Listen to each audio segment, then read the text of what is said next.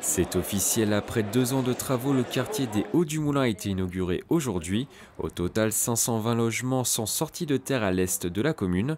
La population de la ville passera donc de 10 000 à 11 500 habitants. Selon le maire, les villes prosiens ont adhéré à ce projet.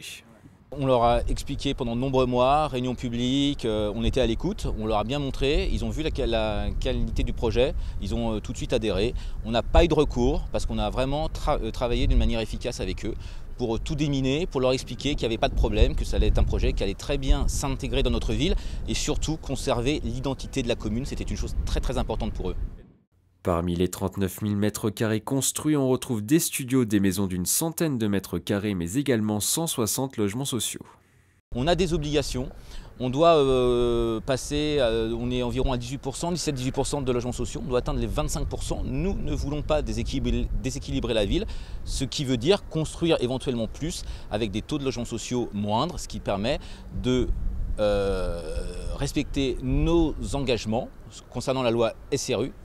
Le quartier des Hauts du Moulin n'est pas encore terminé. Un gymnase devrait notamment voir le jour en 2018 et une école sera construite à l'horizon 2020.